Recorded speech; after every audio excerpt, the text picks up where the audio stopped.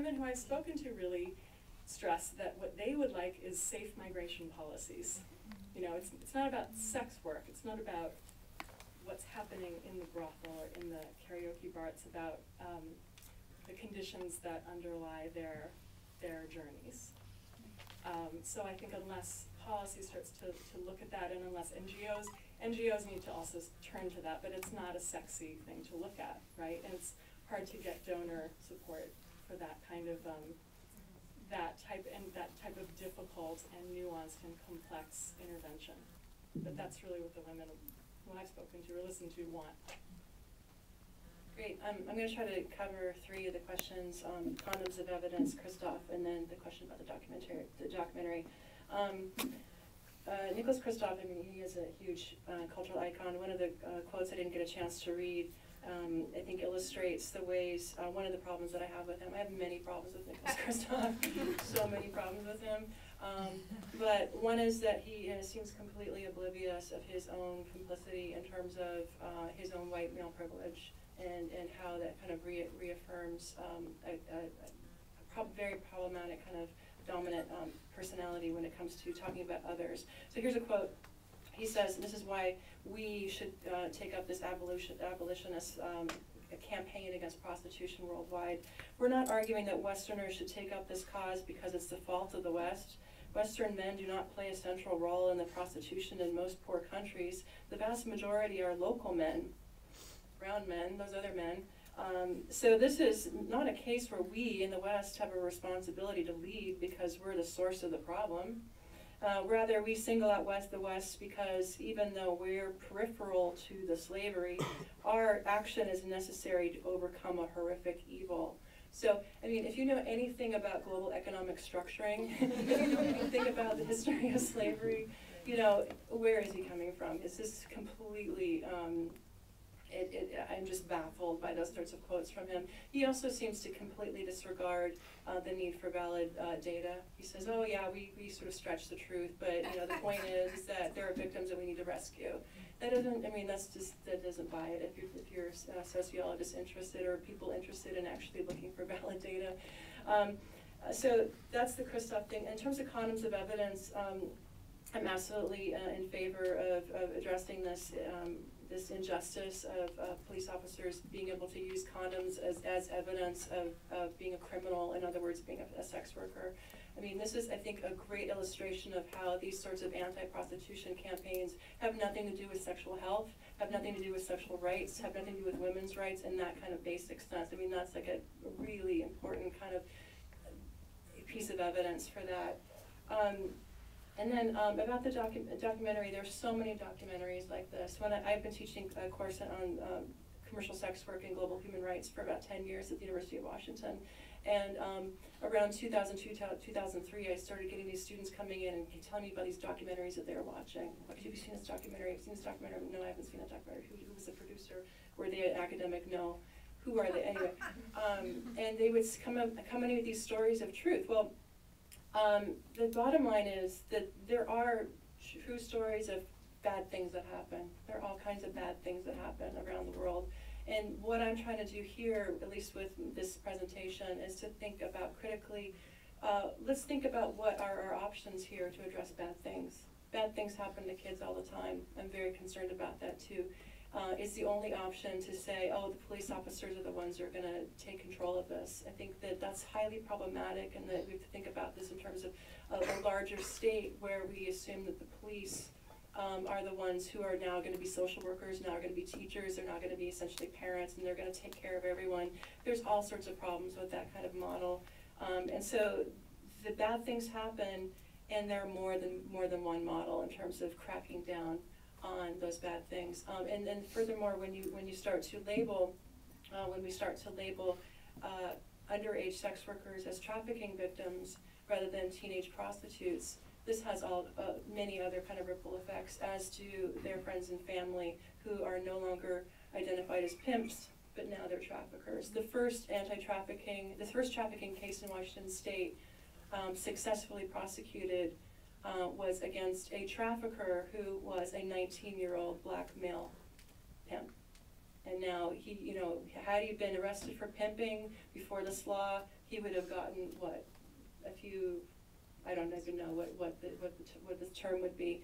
He's arrested after the law and now suddenly he's in prison for a really long time. Is that something that we need to do in terms of being social justice activists and thinking about the prison industrial complex? I have a very, I know, that's, I think that's highly problematic.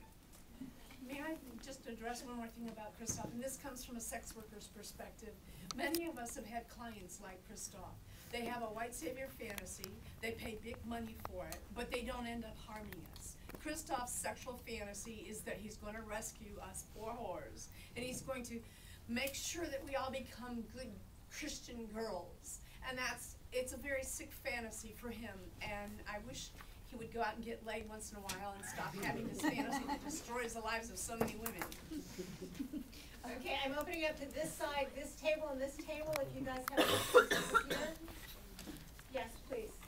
Um, so I recently did some research on the legalization process in the Netherlands, and um, I mean, what I saw at least from the evidence was that you know the legalized prostitution, or I guess they took away the ban on brothels, and you know some of the challenges were that it drove a lot of the prostitution or the sex work underground because there was challenges the way that they had like a lot of taxes or other things, and then also there was increased complaints from sex workers that there was violence, and then there was also increased trafficking related with the demand, and so there was a lot of challenges associated with the the the lift of the ban on brothels, and so I I hear this sex worker right conversation, but I didn't at least when I studied that model, I was like that didn't seem to be effective. So I'm wondering, you know, if there's a model you've seen that seems to avoid conflating sex work and trafficking, and if there is, if you could describe it, and also if you have like a vision of, you know, what would be effective at, you know, not conflating the two and effectively addressing the concerns of victims and reducing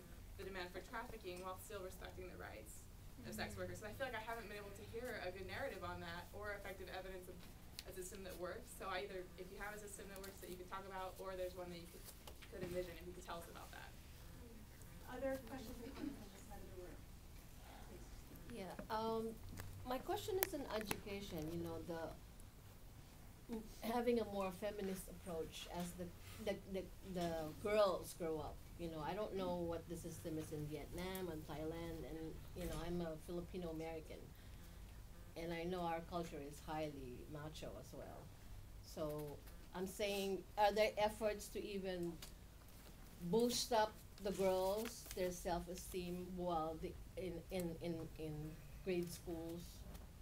And I think that's where a change, a more feminist approach to the culture should be one of the solutions. And I don't know what you think of that. Um, Alice? Yeah, um, you know, one of the things that interests me a lot in this discussion is the relationship between feminism and trafficking. And if you look at the history of the second wave, um, I think it's fair to say that there was a certain strand of especially radical feminism that became really interested and concerned with uh, prostitution and tried to actually talk about how prostitution might be eliminated with uh, a total lack of success because the very first, I think, conference that was held, this would, would have been in the early 70s, became um, a cause celeb for actual prostitutes who showed up and said, Hello? No, you might have thought before you organized this conference about including us Yeah. in this discussion, right? And so I think members of Coyote, Call Off Your Old Tired Ethics, which was a group of, uh, of prostitutes, organized prostitutes, uh, led by Margo St. James, um, basically just shut that conference down, you know? I mean, it was really a very contentious um, scene. And what happened as a result, at least as I try to reconstruct the history, is that a lot of those feminists then became involved. It was like, okay, prostitution is too hot because there are actual women there who are going to give us a lot of crap, okay? so they moved on to pornography. Right. And, and you know, mm-hmm. at first it seemed as though that was actually going to be the movement that succeeded in bringing women across lines of class and race mm. together. Because it seemed as though this was something that all women would be equally concerned about, this proliferation of pornography. Well, it turned out that pornography proved to be pretty darn explosive as well. And, uh, you know, there were huge battles that within the feminist movement we called the sex wars, you know, between feminists about how you deal with pornography. And one of the things that happened was that a lot of the women who were involved in trying to eliminate pornography were not able to succeed on at the domestic level. They failed in the city of Indianapolis, they failed in the city of Minneapolis, and some of those people then migrated into working at the UN, as I understand it, and became involved and actually became architects of this sort of new framework of trafficking. That's my take on it, but I want to hear from you guys. Um, um, the extent to which that corresponds or doesn't to your understanding of what happened. Because clearly feminism plays some role in the fact that, you know, people were not talking about trafficking not very long ago, just a few decades ago. Um, that was a relic of a, you know, of an earlier sort of feminist past, and it's been revived. And feminism clear, or a strand of feminism, because there were quite a few feminists who certainly um, oppose this and have opposed it. So I'd love to hear from you guys about this. Great, I have, I have this woman right here, this gentleman right here, and then we're gonna come back to the panel, please. Yes, um, I wanted to know, I've done some research on mail order brides, and I wanted, my question is, because all of you have talked about empowerment of the victims and uh, made the distinction between consensual prostitution or consensual sex workers and um, the illegal sex workers that are coerced into the industry.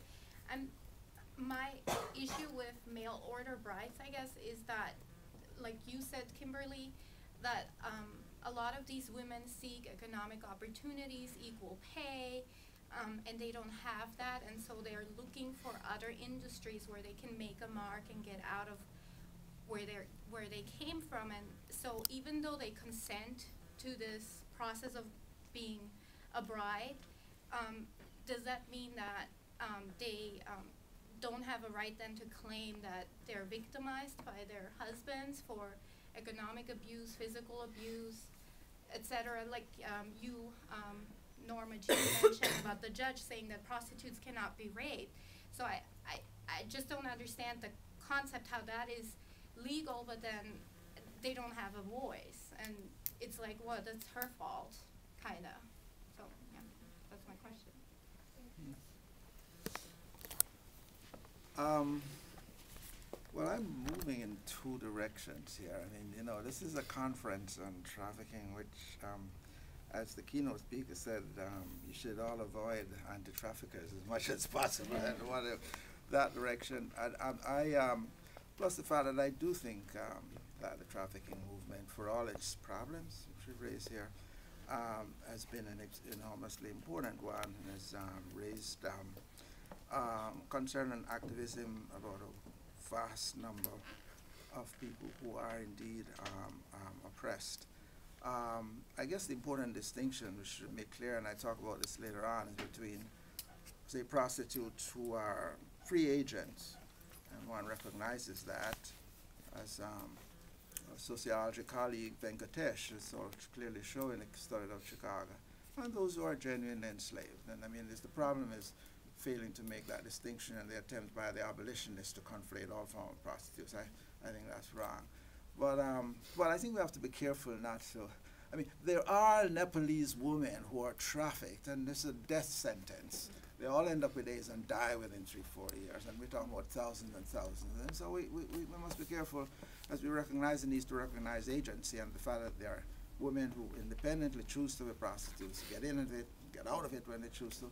That we, we, we, we, we, we don't sort of um, underplay the very important um, role here. But actually, I want to go to the other end, and there's a question for, for Kimberly. And um, the, um, you emphasize the role of entrepreneurship um, there, um, which exercised by these women. And um, as we were talking about earlier, I know cases in the Caribbean where this is so.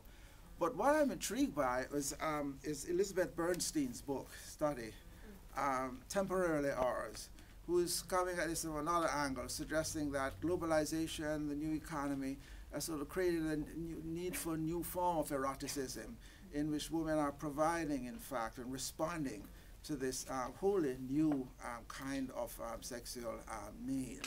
And, um, and um, I wonder um, how you'd fit in your own work in, in, in Vietnam with this development, because it seems to me that quite apart from their entrepreneurship, uh, and I had the pleasure of reading your thesis, is, is that they also seem to be doing something like what uh, Bernstein is suggesting, this, um, this new space uh, which is being created, um, and, uh, which gets us back to recognizing, in fact, that um, prostitution is not just sort of victimization.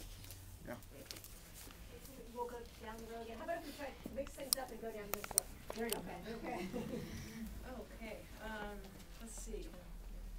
I guess, um, I can start with the, the mail order bride, um, issue. Um, I know this is a, is a very common term, and, uh, a lot of my students also, um, study this and, and want to write papers about it, but I, I, I, again, I'm, I'm really a stickler around how we label things, how we frame things.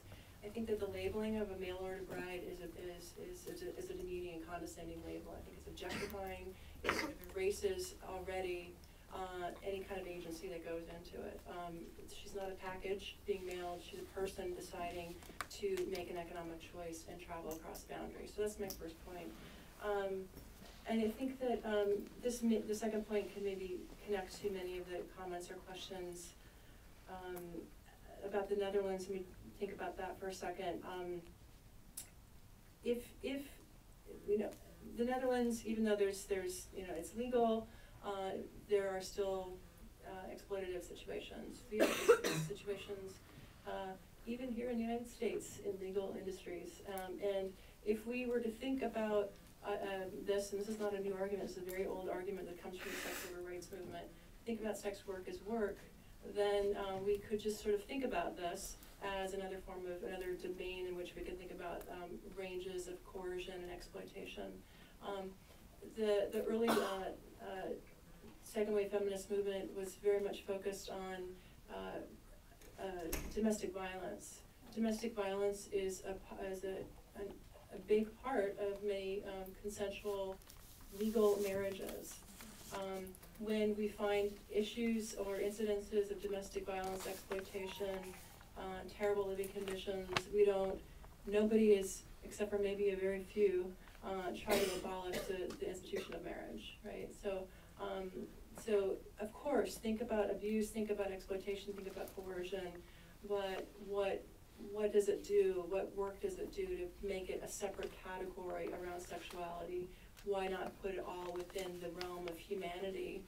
Uh, many people who work as sex workers are also mothers and wives. Many people also are working at, uh, other industries, um, simultaneously to make ends meet. Why do we need to make this separate category just for sex work? I think that it's, it's serving other state, uh, needs that are not in the interests of, uh, people, humans, trying to make their, their lives better. Uh, So I'll address this issue of the, the sort of feminist approach to looking at anti-trafficking policy or, or sex work. Um, and I, I think Alice, your, your comments,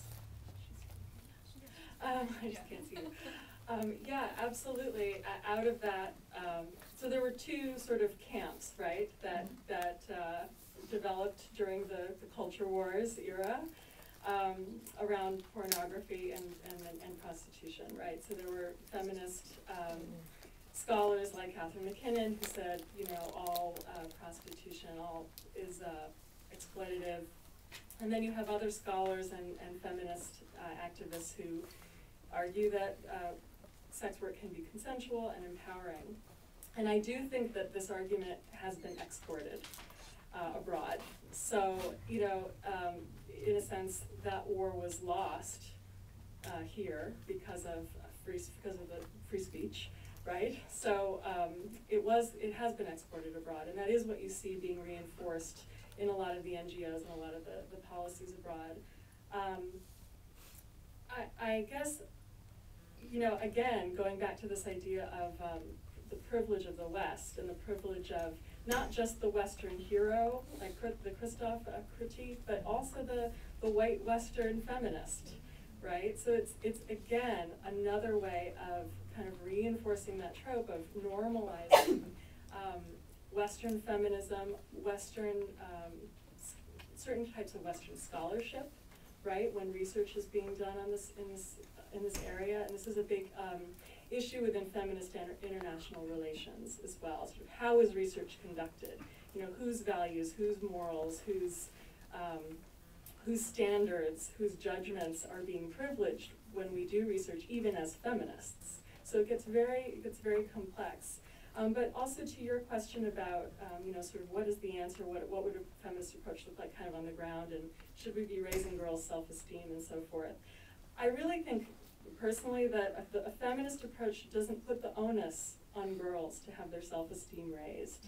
I think that a feminist approach would instead look at how we can empower or how communities can empower themselves. Um, a feminist approach would look at the structural conditions that underlie migration, such as poverty, um, warfare, you know, uh, an example being what's going on in Burma right now, uh, the ethnic minority conflict in Kachin State uh, and the militarized Burmese government is fueling trafficking and consensual migration into Thailand.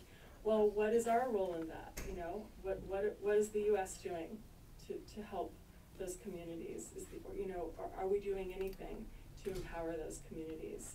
So again, rather than taking taking rather than putting all of the emphasis and the onus on a girl and her choices, and is she making a good choice or a bad choice for herself? Um, I think a feminist approach would take a much holistic perspective.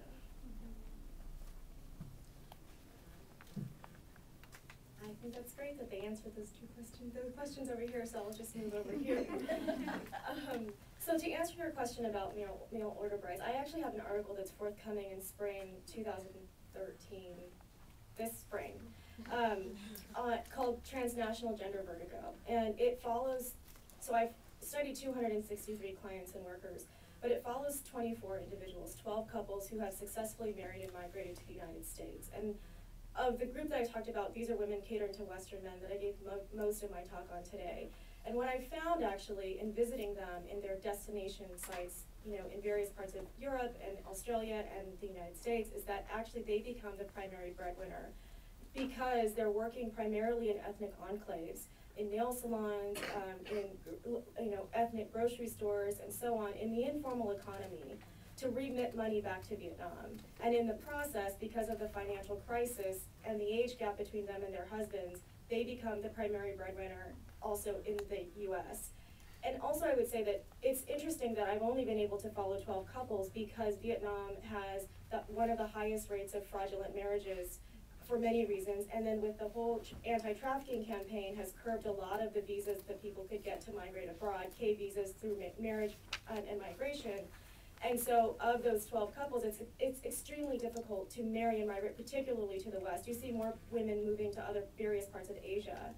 Um, but because of that, the financial crisis happened, and then many of the men lost their retirement and are living primarily on Social Security. And so, because of that, women are working, and it traces sort of their lives for three or four years. The marriage and migration process takes two to three years. Mm-hmm. And I, what I found, interestingly enough, is that in the process, most of them sort of fall in love with each other because they're because once the women migrate to the U.S., they're so isolated, even from the community within their ethnic enclaves, because they're married to older white men and are automatically marked as sex workers, and have this sort of social stigma that makes them, in many ways, bond with their husbands, and so it's a complicated relationship, and that's that's that's to answer your question there.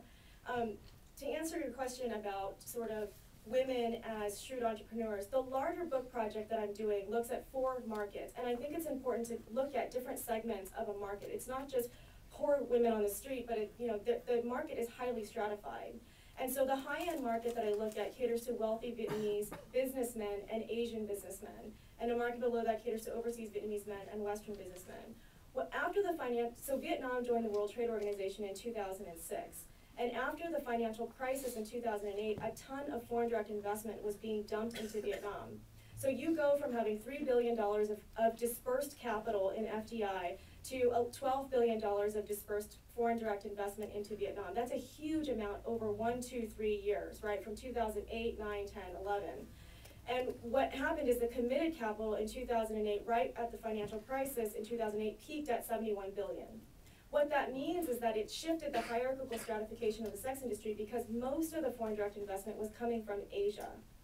And so what that means when I say that women are shrewd entrepreneurs in the larger book project is that you can't do business in Asia without involving the sex industry.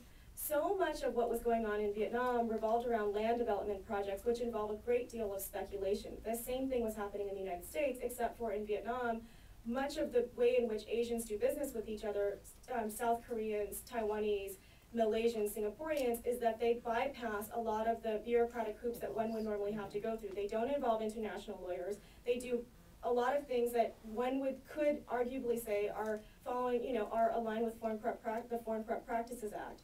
But and so what's essential though, and I, I actually don't think I don't frame these kinds of transactions as corrupt practices. Actually, I think it's something that happens in rapidly developing economies when you have that much that kind of uh, that that sort of rapid injection of foreign direct investment coming into the country. What I argue is that the sex industry, in many ways, facilitates these building of relationships between men. Because what it is is that you have high-powered political officials and business elites who are aligning with each other. You need people's signatures for licensing, for permits, for all of these things for a, so for example, a thirty million dollar land development project, you need architects, you need licensing, you need mm-hmm. the land, you need access to land, you need foreign capital. And the foreign capital that was coming from Asia was all cash. Whereas capital coming from the West was primarily, you know, for a thirty million dollar land development project, they would bring, they, the West would say, you know, the US, for example, would say, we'll bring in ten million, but we need, you know, several years to raise the other twenty million. And the South Koreans would come in and say, well, we have the cash, we're ready to go. And so when it's like that, it, you have to build social relationships of trust. Mm-hmm. And the reason why the sex industry is so critical for, for this is because when you're dealing with high-level political officials, the investors wanna know that there's going to be a return on their investment. And the way to get that is to have dirt on somebody. And so what you see then in May of two thousand and twelve, more recently, is this exposure of a high-end prostitution ring because there hasn't been a return on the investment. And so what happens is that you expose the, you expose men of corruption. And the way to expose men of, corru- of corruption is to link them to the sex industry. And so in many ways, the larger book project argues that you cannot understand economic development in rapidly developing societies without understanding the role that the sex industry plays in economic development. That is in the high-end market.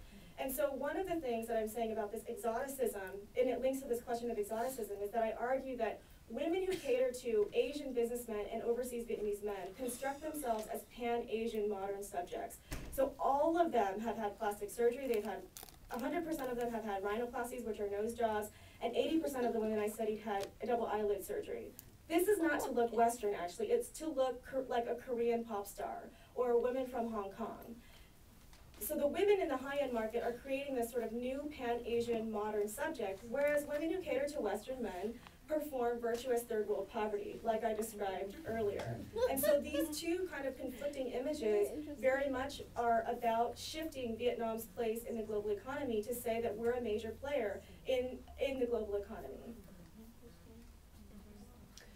Well, I don't want to repeat a lot of the things that my fellow uh, panelists have said, but, you know, to the point about a model that works, because I, I feel that you really want that one model. And- I just, I, I want to embrace, you Right. know, what you, pers- I don't see a good example. Right, because frankly, I don't think there, mm-hmm. ex- I think the point that we're trying to make is that there is no one model of prevention that we know of yet.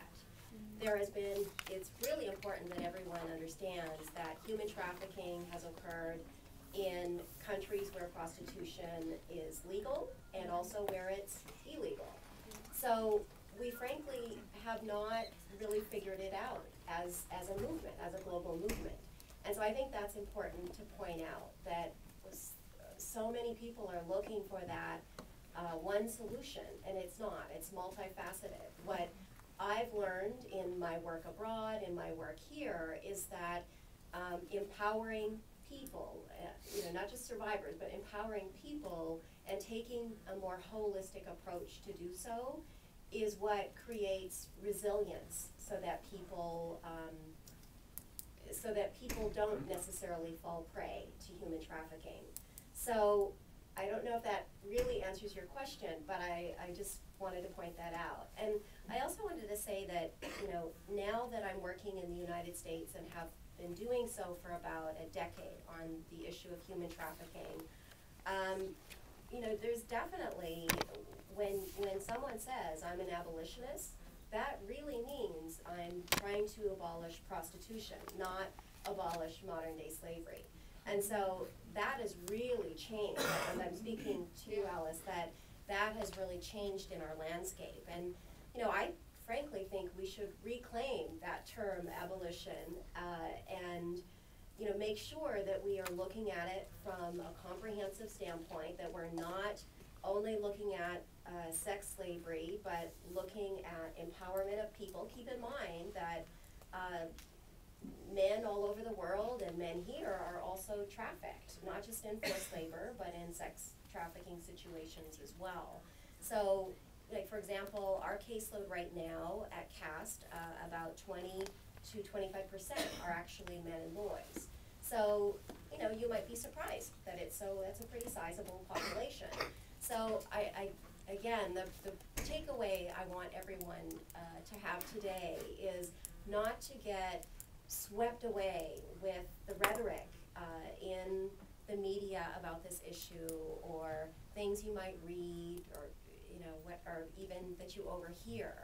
Uh, you really have to think of it uh, as a complicated, multifaceted issue that I think Kimberly really just demonstrated. I can't read, wait to read your book. I mean, it's that's really you should all buy her book and and read it because what she's saying is that this is a highly complicated issue. And as a practitioner, as someone who works directly with survivors, uh, I can attest to that. So, thank you. Okay, I got a couple of answers. One is for you, and because I'm an international activist, I work with my colleagues around the world. By colleagues, I mean other sex worker rights activists like myself. And right now, we're looking at New Zealand and some parts of Australia as having one of the better models of decriminalization. We don't want to see legalization, we want to see decriminalization of all consenting adult commercial sex. And we think that just like any other business, as long as we have access to a safe industry where, where the cops are not our adversaries. I remember going to um, Hamburg a number of years ago when I was doing a talk show over there, and I went to the red light district, and there was a police station on the corner of the red light district, and the cops and the hookers hung out. And I'm like, oh my God, like this would never happen over in the United States. And it's like you could walk in that area at late at night and feel perfectly safe. And I think when we take out the adversarial relationship between law enforcement and anybody that's outside the law, for example, homosexuality, um, when you take away that adversarial relationship, where we, if we're victims of anything, can go to the police and not fear being arrested ourselves, that's the main issue. Um, you know, people want to take it to uh, let's arrest your clients. Well, I mean, you're not helping anybody taking away the people that pay our rent and make it possible for us to have nose jobs or whatever else. What we want is a safe way to work, and that means remove the laws that make us criminals. Do not criminalize the men who are non-violent, non-coercive. Just like you wouldn't go house to house and arrest all husbands in case they might beat up their wives. I mean, you know, that would be stupid. It would also waste a lot of resources, and that's unfortunately what we do. And when you talk about other things that would be, you know, like, well, you know, what about the violence? Um, homosexuality in the United States wasn't that, it wasn't that long ago that it was legalized or decriminalized. And I remember back in the 70s when I was on the LAPD and they had this, you know, oral sex was against law. And so uh, the law in California was 288A. And I knew a cop that had his license plate 288AAAHH. So, ah, uh, yeah. Because every cop I knew committed that felony. They didn't do a very good job, but nevertheless, they were still felons according to the law. I think when, when homosexuality was no longer a crime, you might see hate crimes against them increase. But was it really an increase in hate crimes, or was it now that they could go to the police and not get arrested. And that's really what we wanna do, is not get arrested when we report crimes against us. I would love it to, to, you know, because I do know a lot of good cops, despite the fact that I see all these rapist cops out there, there's a lot of good cops out there, and what happens is when you have bad laws, you make it impossible for good cops to operate in a safe environment, because if they turn in their fellow officers, you know, their goose is cooked, you're a whistleblower, you're out, you die. Um, and they almost, they almost killed me, but I made it, cause I got too loud and too big and too up front there, they couldn't do it. Now, talking about the, um, the thing before, uh, the last couple of centuries, to your question, I was one of five sex worker activists that, NGO delegates that attended the UN conference in Beijing in nineteen ninety-five. There were five of us from around the world. We had, we only known of each other, we hadn't met each other, but we ended up going there, and for two weeks, we lobbied the, the, um, government delegates. There was a paragraph that said, in essence, all pornography and prostitution are incompatible with the dignity and worth of the human person and must be eliminated. We lobbied for two weeks, we changed that paragraph by one word, all forced prostitution and pornography. We were so proud of that achievement, you have no idea what we went through to get that happen. When we got back, then we found out that people like Melissa Farley and her ilk said, there's no difference between forced and free choice. There's no difference between child and adult. And I'm like, really? Do you know, I mean, I'm sixty-two years old and, and many years ago, when we looked at when women, you know, turned in their rapist or their, their violent husbands, they were not believed. And they worked so hard to change that so that they would be believed. And it's like, okay, now you're saying, well, we should believe a woman when she says she's raped, which she should, but we can't believe her when she says she's not. How stupid is that? Excuse me, I didn't want to swear again, but I mean, that's the most ignorant thing. Now, as far as the pornography, I was involved in that too in the 80s after I got arrested. My husband and I decided to file a lawsuit in California State Court enjoining the district attorney from using the pandering pimping laws against people who made adult porn. It was at the same time as Hal Freeman. He, he filed his case first. I, uh, my case was filed by Stanley Fleishman, a, excuse me, a First Amendment attorney. And what we said is the things that I learned as a sex worker, I would like to teach other women how to do because you know what? There really is a skill and an art to pleasing a man or a woman. And I, I had couples as well as just, you know, women as clients.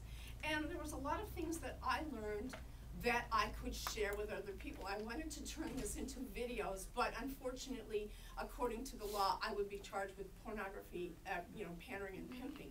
Um, so what happened is, of course, the Hal Freeman decision came up and said, the judge said, well, it may be prostitution, but because it's a third party that's the end person for, you know, recipient for this pornography, then it's still protected free speech. So that's when the split happened between the porn people and the, you know, prostitution. So a lot of the early sex worker rights activists that I've known, Annie Sprinkle and Nina Hartley and all them, they're very, um, pro-prostitution rights as well.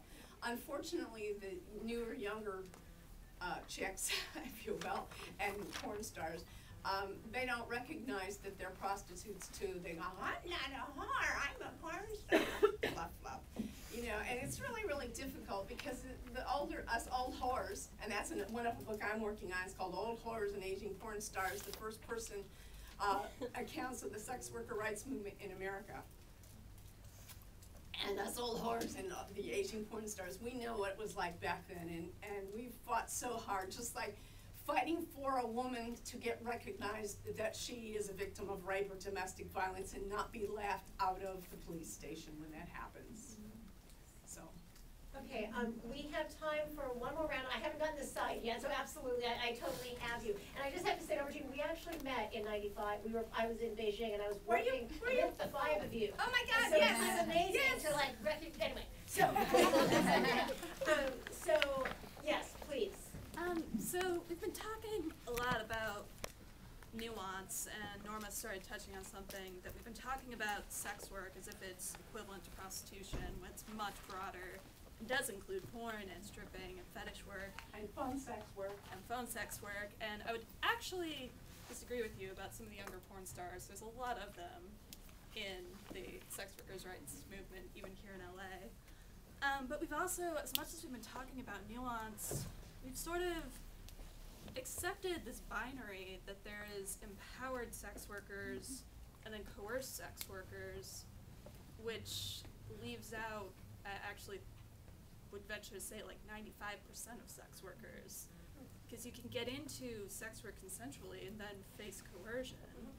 Um, you can also be a victim of exploitation and still feel empowered and have agency as a person.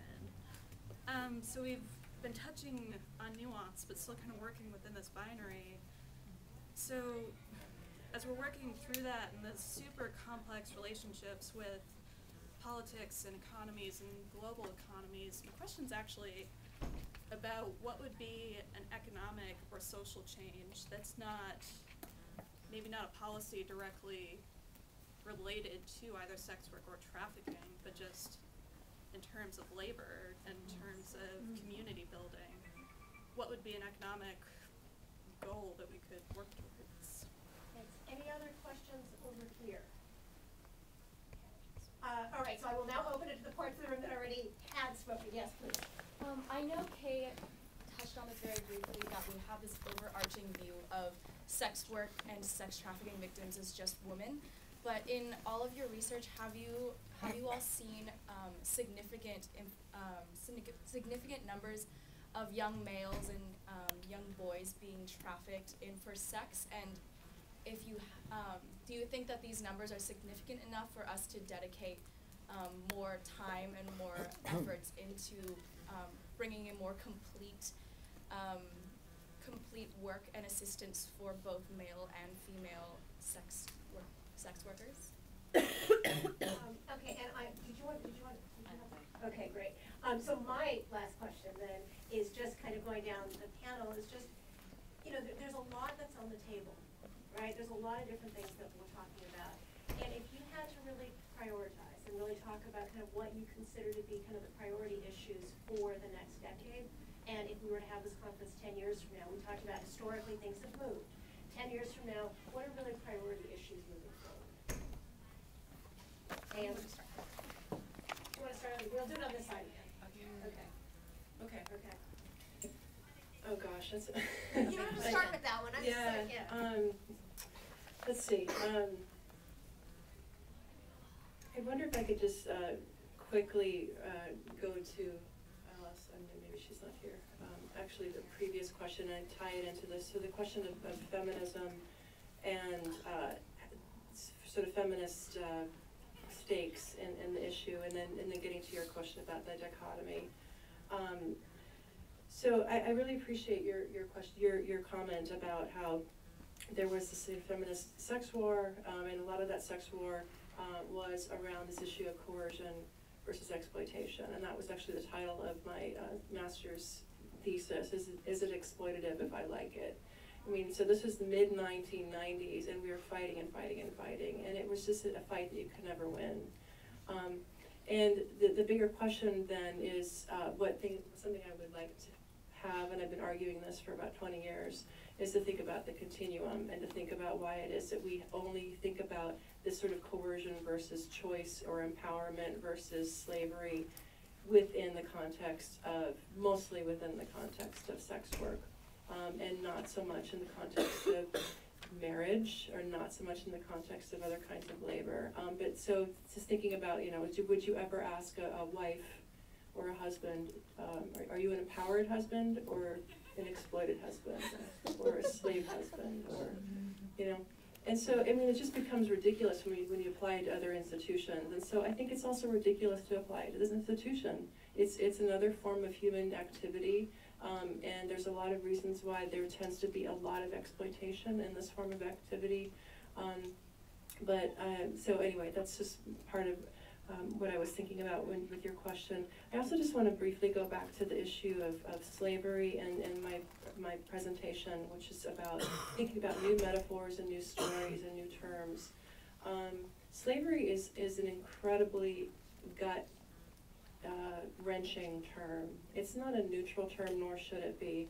Um, and I'm very curious about um, what the historian of slavery, Orlando Patterson, has to say about about the sort of invoking of uh, the slavery metaphor, maybe in your in your final plenary, because I think it's. Um, I personally find it highly problematic for many reasons. One reason is that well, I think you, you hopefully will be able to speak to this, but in terms of thinking about labor just had a exploitation.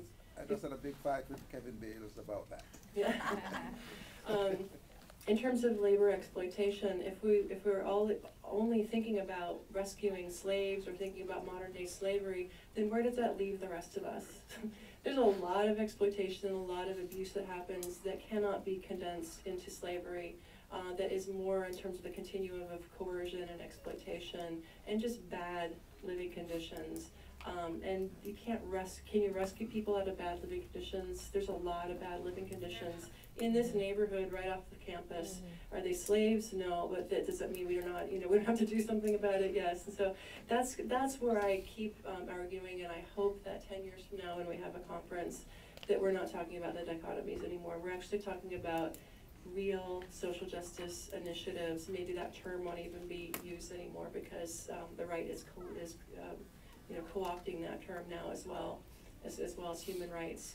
But thinking about things in terms of structural interventions as opposed to personal morality interventions, that's my hope. Um, thank you for that question, Sofia. I think it's a great one. And I, I guess for me to prioritize one thing, it would be the way research is conducted on this issue and, and um, really on issues pertaining to women uh, all over the world. But um, I think conducting research in a more participatory manner versus a sort of top-down positivist approach um, is, is essential if we really want to um, want to advance social justice aims. Um, dissolving the sort of binary between us versus them, not only from the West and the developing world, but also the academy versus the people, um, I think another really essential goal. Um, to answer the question in the back about this division between force and coercion, I think that Rhacel Parreñas, who actually organized this whole conference, um, has this has a really great way of thinking about this on a continuum, which is and it's actually building a lot on Orlando Patterson's theorizing of, but to think about indentured mobility, which is that when women consent to entering into, and she's looking at hostess workers, Filipino women in getting entertainment visas to go to Japan, they consent to migrate abroad and then get caught up in these kinds of systems. If you break it down and think about their labor process and the migration process, you begin to unpack these kind of exploitive working conditions at, in their sort of indentured mobility. And I think that her book Illicit Flirtations does a really great job of, of breaking this down and thinking about it less in terms of dichotomies. And, and I think there's lots of work actually that's come out in the last year or so that moves beyond these dichotomies.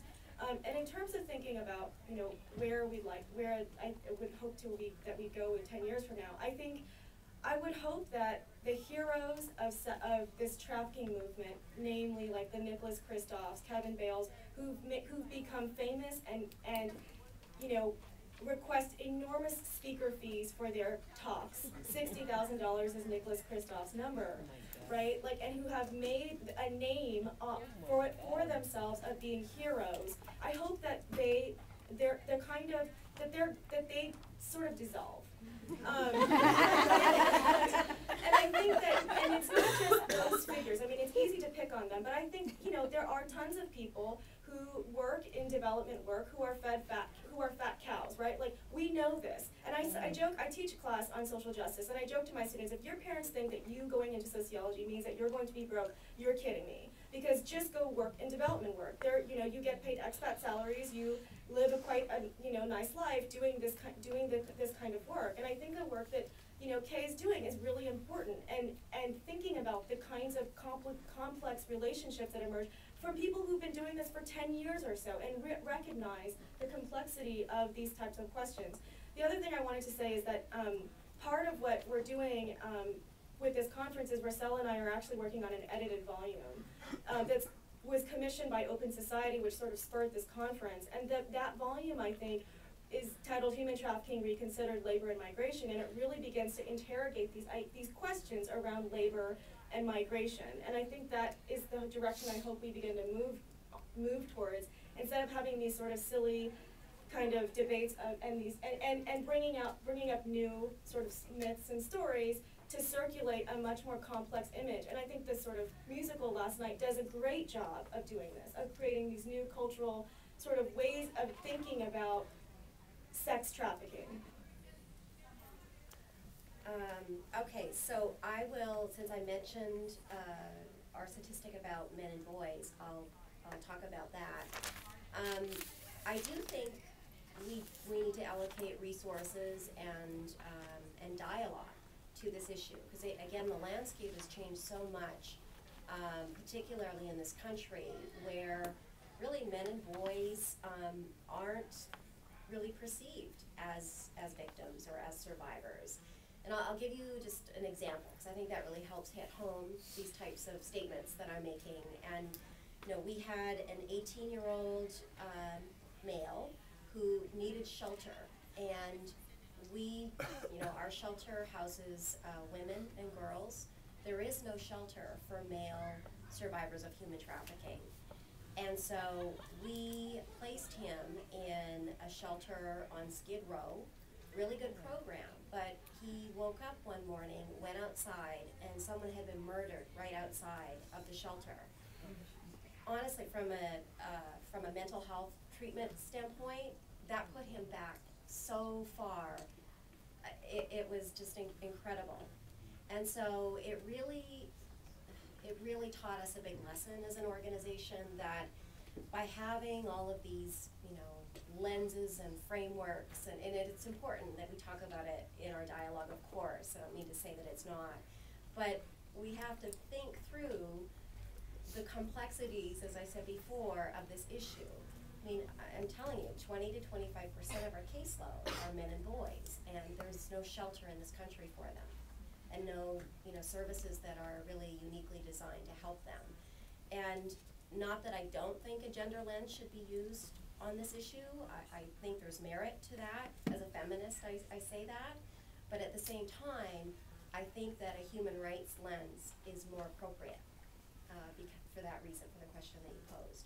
So in terms of, uh, the nuances, cause I think that's an excellent question, and you're absolutely right, that we learn so much from our clients, um, about these nuances each and every day, and yet the policies we create, and that trickles down to practices, right? They don't reflect that, that's the problem. So what I wanna see in the next ten years is, one, more survivors, uh, at the table.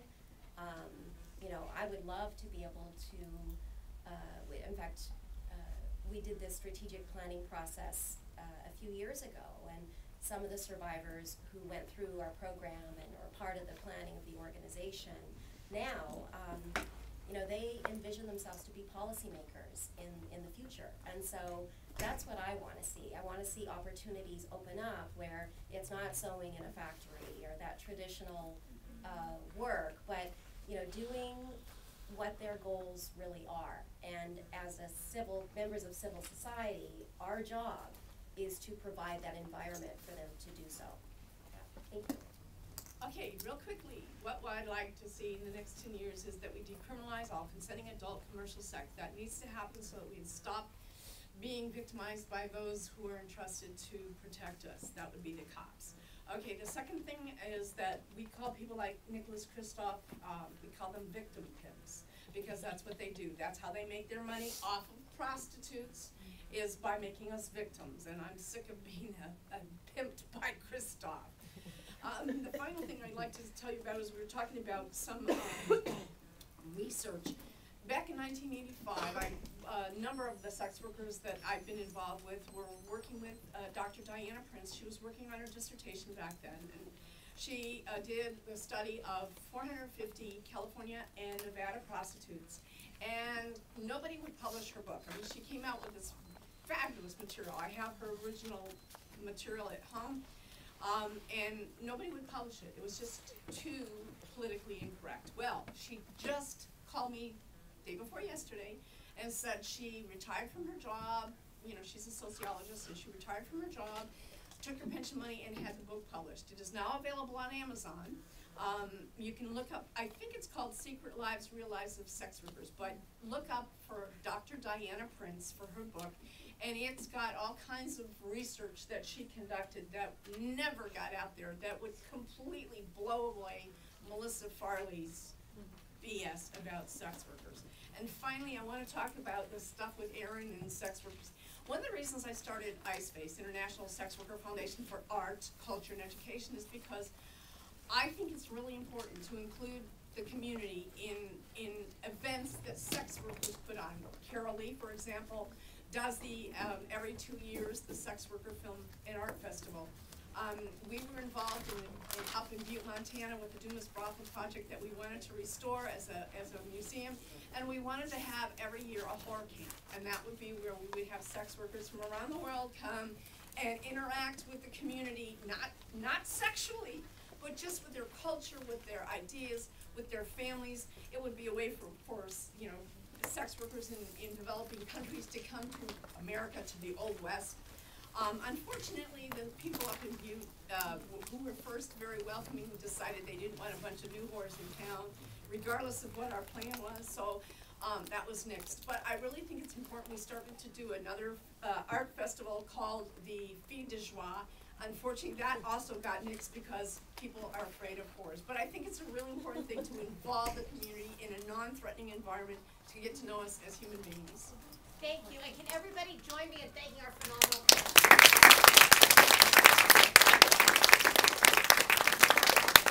Thank you, everybody, and now let's move down to the plenary, 'cause I think we're running a little bit late. Mm-hmm. Everyone, please, if you have a moment late, either now or later, fill out the evaluation of the panel. We'd greatly appreciate it.